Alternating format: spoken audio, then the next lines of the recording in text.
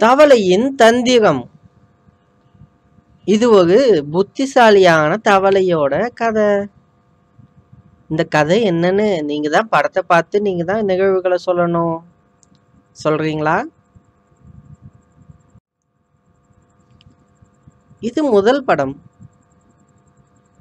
இங்கு என்ன இருக்கு? நிகழ்வுகளை சொல்லுங்க. இது இரண்டாவது படம். இப்ப யார் யாரெல்லாம் இருக்காங்க?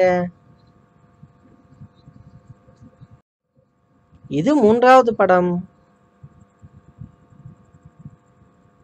யார் யார் கிட்ட மாட்டிக்கிட்டு இருக்காங்க? இது நான்காவது படம். தவளை எப்படி தப்பிச்சது? கண்டுபிடிச்சிங்களா? சரி முழுமையான கதையை பார்த்துக்குங்க. நீங்களே சொல்லுங்க கதையை. நான்கு படத்தையும் ஒன்றா பாருங்க. இப்போ நீங்களே கதையை சொல்லுங்க.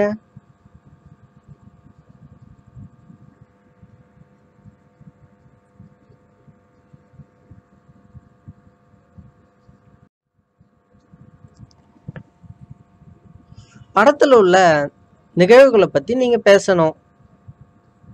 படத்துல ஒவ்வொரு விலங்கும் எங்கே இருக்குது எங்க போகுது என்ன பண்ணுது? அப்படின்றத பற்றி நீங்கள் சொல்லணும். உங்களுக்கு வழிகாட்ட இந்த அம்புக்குறிகள் உதவும். இந்த குரங்குகள் என்ன பண்ணுது? மொத்தம் எத்தனை குரங்குகள் இருக்கு மரத்து மேல?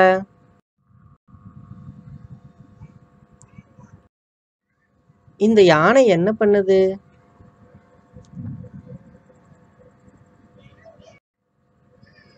இந்த புலி எதை நோக்கி போகுது?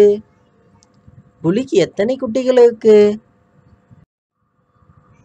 இங்கு என்ன பறவை இருக்கு? எத்தனை பறவைகள் இருக்கு? எதன் மேல உட்கார்ந்து இருக்கு? இது என்ன? அது எங்கிருந்து துள்ளி குதிக்குது?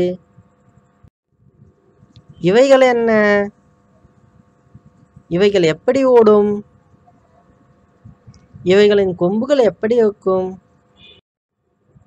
இது என்ன? இது எதற்காக காத்திருக்கு?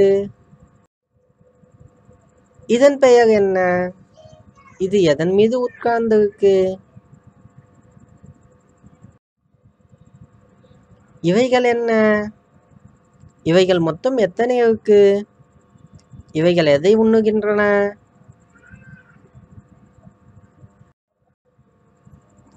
இப்ப படங்களை பார்த்து பெயர் எழுதுக. இங்க படங்கள் இருக்கு இல்லைங்களா? அதுக்கு உண்டான பெயரை நீங்க எழுதணும். எழுதுவீங்களா? நீங்களே எழுதுங்க. இப்ப படங்களுக்கான பெயர்களை நீங்க எழுதி முடிச்சிருப்பீங்க. சரி. இப்போ நீங்கள் எழுதின படங்களுக்கான பெயர்கள் சரியானவையா அப்படின்னு சொல்லிட்டு பார்த்துக்கலாமா? மீ இன் மீன். கத்தரிக்காய் கத்தரிக்காய். பேரிச்சம் பேரிச்சை. வாத்து கங்காரு முயல். சரி நீங்கள் எழுதின வார்த்தைகள் பெயர்கள் எல்லாம் சரியா இருக்கா அப்படின்னு சொல்லிட்டு பார்த்துக்குங்க. இவைகளும் படம் பார்த்து பெயர் எழுதுக தான் இந்த படத்துக்கான பெயர்களை நீங்க எழுதணும். இந்த செயல்பாட்டை செய்யுங்க. சரி.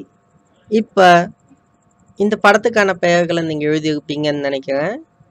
நீங்கள் எழுதின பெயர்கள் எல்லாம் சரியாக இருக்கான்னு சொல்லிட்டு பார்க்கலாம்.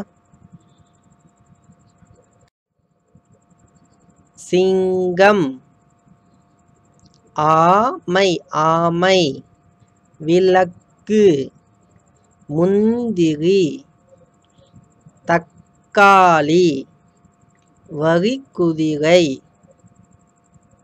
சரி நீங்கள் எழுதுனது எல்லாம் சரியா ஒரு முறை பார்த்துக்குங்க.